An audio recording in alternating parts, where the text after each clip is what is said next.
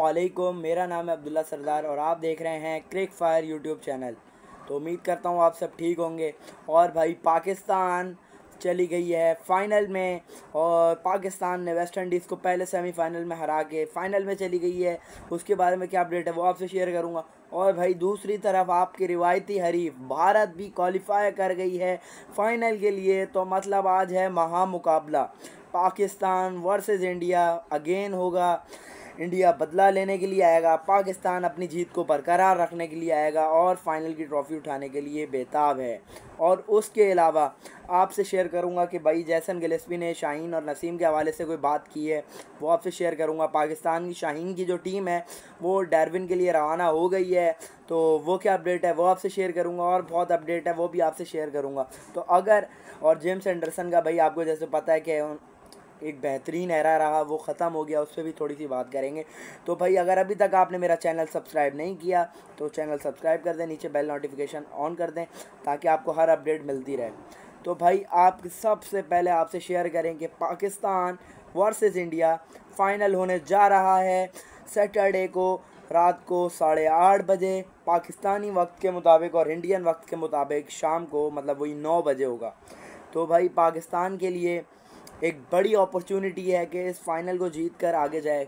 अब दोनों ने भाई, अब मैं आपसे शेयर करता हूँ कि कल मैच में पाकिस्तान वसी वेस्ट इंडीज़ के मैच में हुआ क्या था। वो आपसे शेयर करता हूँ।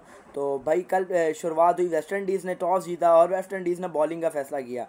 और शुरू में ही दस रनों पे तीन आउट पाकिस्तान के अर्ली विकेट्स ले ली, जिसके बायस पाकिस्तान का क्या कहते हैं आप पाकिस्तान का मोमेंटम टूटा क्योंकि in form batter Sharjeel, Sohaib Maqsood रवाना हुए और शुएब मलिक। तीनों इन फॉर्म बैटर आपके रवाना हो गए। जल्दी जिस वजह से पाकिस्तान को थोड़ा धचका लगा, लेकिन कामी भाई और आपके यूनस भाई दोनों ने भाई क्या इनिंग्स खेली। कामरान अकमल के क्या ब्यूटीफुल शॉट्स यूनस खान के पुल क्या बेहतरीन इनिंग इन लोगों ने टीम को पहुँचाया। तकरीबन आपके 104 रन भी हाँ उसके बाद कामरान अकमल आउट हुए। शाहिद अफरीदी आए। शाहिद अफरीदी कुछ ना कर सके। शाहिद अफरीदी भी एक रन बना के रवाना हुए। मिसबा उल हक भी एल बी डब्ल्यू हो गए, पहली बॉल पे ही फ़र्स्ट बॉल डक हासिल किया। लेकिन लेकिन लेकिन, उसके बाद बनी पार्टनरशिप नीचे से आमिर यमीन और सुहेल तनवीर। आमिर यमीन ने क्या बैटिंग की? जिसने और सुहेल तनवीर ने क्वालिटी बैटिंग की, क्या शॉट्स मारे? क्लासिक शॉट्स मारे, उठा के मारा। फेडल एडवर्ड जिसको खेला नहीं जा रहा था, उसको बाउंड्री नहीं पड़ी थी, उसको छः मारा। फिर सुहेल तनवीर ने अपने लेग के छः मारे। और जिसके बायस पाकिस्तान का स्कोर पहुँचा one ninety eight for eight out सही है, अब टारगेट था 199 पाकिस्तान तकरीबन 14 ओवर में हमारे थे 116 रन थे या 104 रन थे, छः आउट हो गए थे।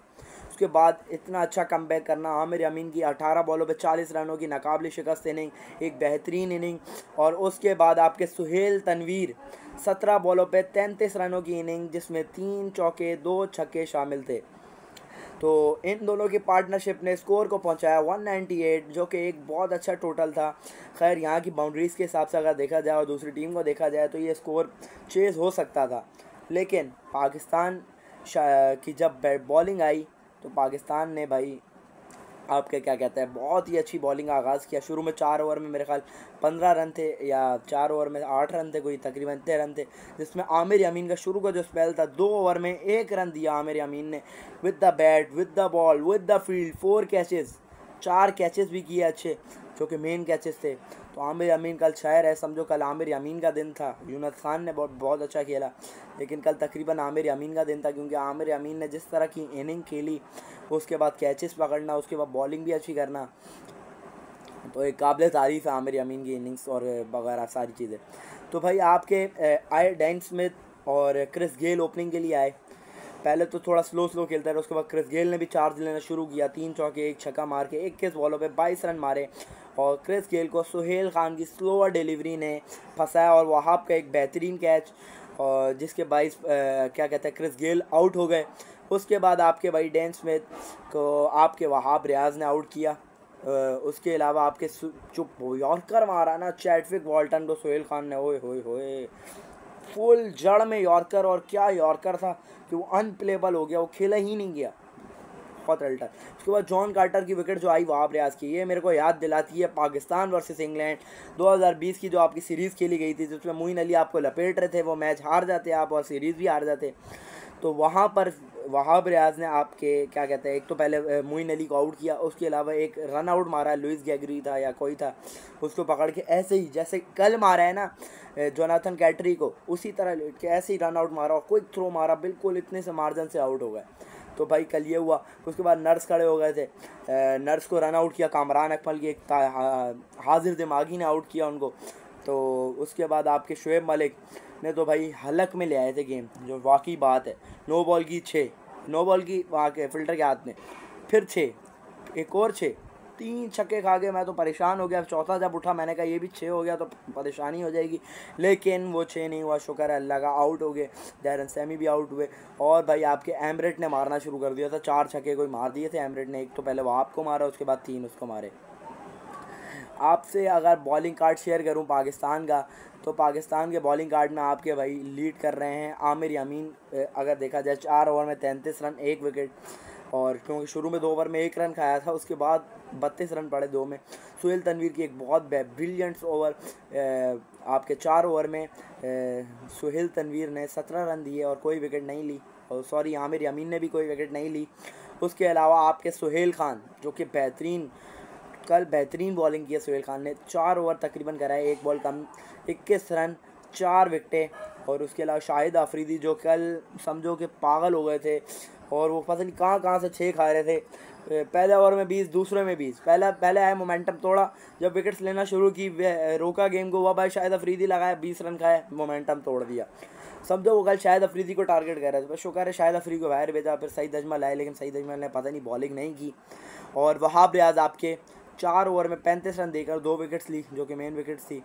एक तो एज लगा था बाकायदा दैरन सैमी का, वो तो उसके बाद खैर अगली बॉल पर आउट हो गए थे दैरन सैमी एज लगा था बाकायदा अंपायर की पता नहीं कौन से डिसीज़न दे रहे तो दो ओवर में छब्बीस रन खाया आपके मलक ने मलक ने दो विकेट्स ली। और यहाँ पर पाकिस्तान मैच जीत गया और पाकिस्तान ने क्रश किया वेस्ट इंडीज़ को और पाकिस्तान चला गया फाइनल में। पीछे आपको पता हो, अगर मैच अगर आपने देखा हो तो पीछे प्रैक्टिस कर रहे थे इंडियन प्लेयर्स, युवराज हो गया या आपके अम्बती रायडू, रोबिन उथप्पा ये प्रैक्टिस कर रहे थे क्योंकि इसी ग्राउंड में मैच होना था। टीम्स आई हुई थी, देख रही थी।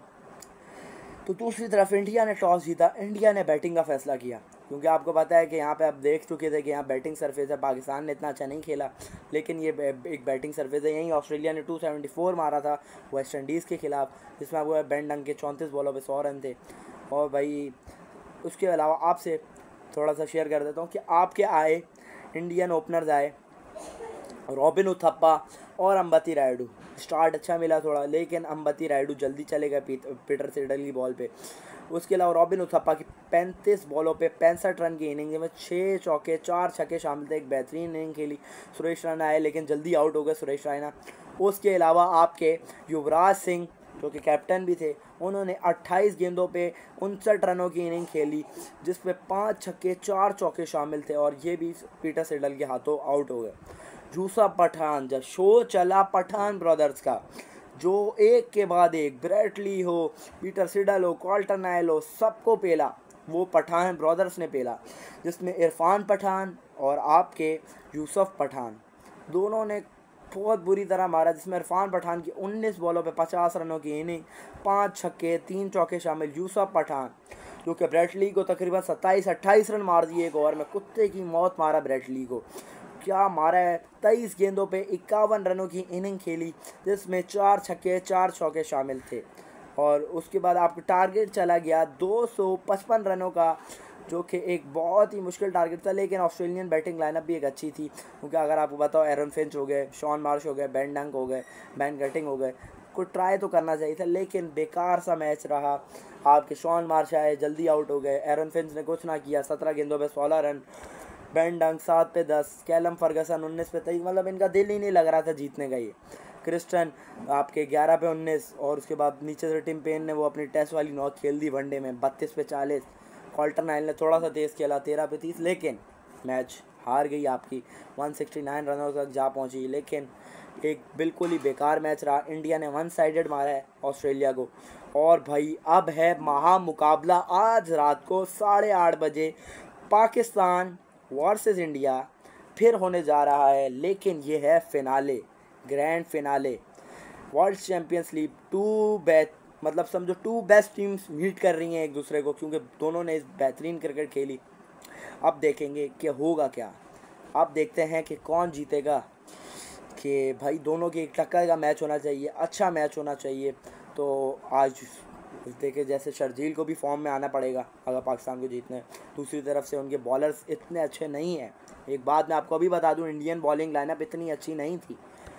इंडियन बॉलिंग लाइनअप आपकी उनकी वीक लिंक है, उनकी बैटिंग उनके लिए मतलब एक स्ट्रॉन्ग स्ट्रॉन्ग है, लेकिन बाकी उनका वीक लिंक है तो आपको उनका अटैक करना पड़ेगा उनके बॉलर से। और आप भाई यहाँ पाकिस्तान शाहीन्स की टीम डारविन के लिए रवाना हो गई थी कल शाम को तकरीबन। वहाँ आपके क्या कहते हैं, जैसन गिलेस्पी की क़्यादत में टीम रवाना हो गई है। साहिबजादा फरहान कप्तान रवाना हो गई है। साहिबजादा फरहान कल प्रेस कॉन्फ्रेंस में भी आए। उनसे ये बात भी हुई कि भाई, आपकी टीम वगैरह। तो बड़ा खुश थे कि पहले तो मैं अपनी टीम को रिप्रेजेंट कर रहा हूँ पाकिस्तान को। और उसके बाद उन्होंने कहा कि भाई, देखें, मेरे को जो नंबर मिला, वो मिला। लेकिन वो बोल रहे हैं, मैं चाहता हूँ कि मेरे को ओपनिंग का नंबर मिला। हाँ बोल रहा अगर मैं ओपनिंग में ना करूँ ना करूँ, उसके अलावा बाद हाँ आप बात कर सकते हैं। लेकिन पहले मेरे को ओपनर हूँ, मेरे को ओपनिंग पे मौका मिलना चाहिए।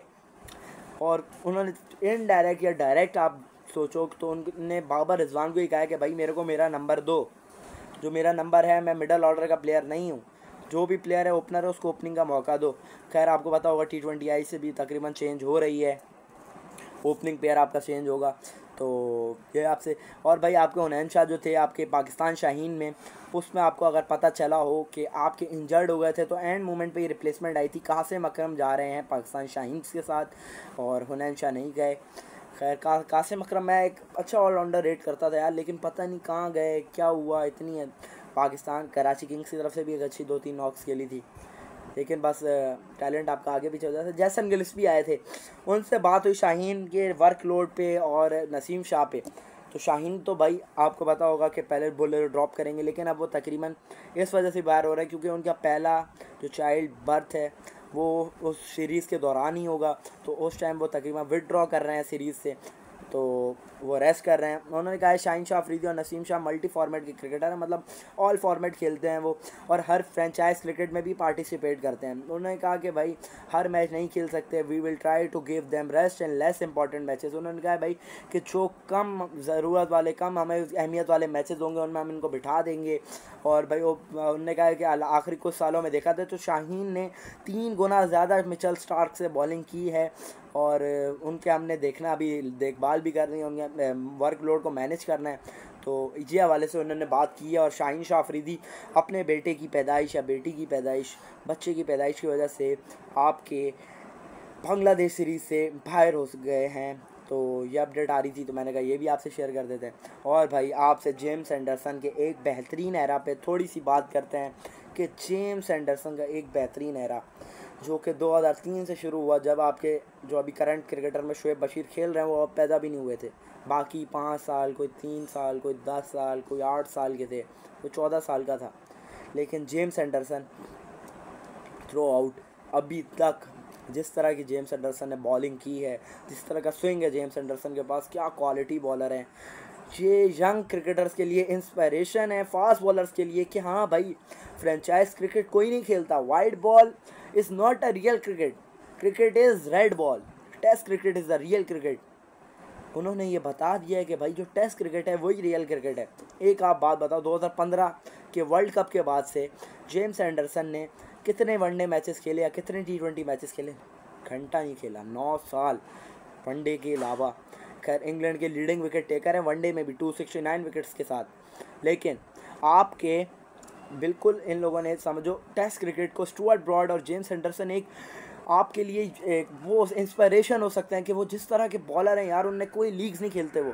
वो टेस्ट क्रिकेट अपनी टीम के लिए टेस्ट क्रिकेट खेलते हैं और रेगुलर खेलते हैं। हर मैचेस में परफॉर्म करके देते हैं टीम को। वो ये चार ओवर के बॉलर नहीं हैं, दस ओवर के बॉलर नहीं वो भाई तीस चालीस ओवर करते हैं वो दिन दिन के। वो उनकी ऐसी फिटनेस है। आपके बॉलर्स को तो भाई फ्रेंचाइज क्रिकेट खेलनी है। हारिस रऊफ को वहाँ बोल दिया कि भाई, आप जाना है आपने ऑस्ट्रेलिया, आप हमारे पास बॉलर्स कम है। या उसने भाई, नहीं, मैं नहीं खेल सकता, मेरे पे ज़बरदस्ती ना करी जाए, ये ना करी जाए। भाई, आप कैसे बॉलर हो? आप जब टेस्ट क्रिकेट के बॉलर नहीं हो, आपको तो बाहर कर दो यार टीम से। जेम्स एंडरसन एक इंस्पायरेशन है। जिस क्वालिटी बॉलर यार, आज उनको आपको पता है गार्ड ऑफ़ ऑनर भी दिया गया, जैसे पूरा ग्राउंड लॉर्ड्स का मैदान में आ गया था जेम्स एंडरसन ऊपर थे और जेम्स एंडरसन की जो ख्वाहिश थी, नासिर हुसैन उनकी पोस्ट मैच प्रेजेंटेशन करें कि जब वो रिटायरमेंट अनाउंस करें तो वही हुआ। नासिर हुसैन आए ड्रेसिंग रूम में बैठे और उनसे बात की। जेम्स एंडरसन बड़ा हाईली रेट करते हैं नासिर हुसैन को और नासिर हुसैन आपको होता एक बेहतरीन कमेंटेटर भी हैं, साथ एक बेस्ट स्पोर्ट्स जर्नलिस्ट भी मानता हूँ मैं उनको। जिस तरह की वो क्रिकेट पे ही बात करते हैं, कोई फालतू बात नहीं करते। तो शो लंबा हो गया जेम्स एंडरसन की थोड़ी सी बात कर रहे थे कि एक बेहतरीन era comes to an end it's was a beautiful era मेरे ख्याल से। उनसे पूछा कि आपके होल कैरियर का क्या आप एक वर्ड में डिफाइन करेंगे उन्होंने डिसेंट लेकिन सबको होता है आउट क्लास एरा तो भाई, आपकी आज की वीडियो का अख्ताम करते हैं। तो अगर उम्मीद करता हूँ आपको वीडियो पसंद आई होगी। वीडियो पसंद आए तो लाइक करें शेयर करें कमेंट करें सब्सक्राइब करें और बेल नोटिफिकेशन ऑन कर दें ताकि आपको मजीद अपडेट्स मिलती रहें। तो आपका दोस्त, आपका सरदार। मिलता है अगली वीडियो में। तब तक के लिए अल्लाह हाफिज़।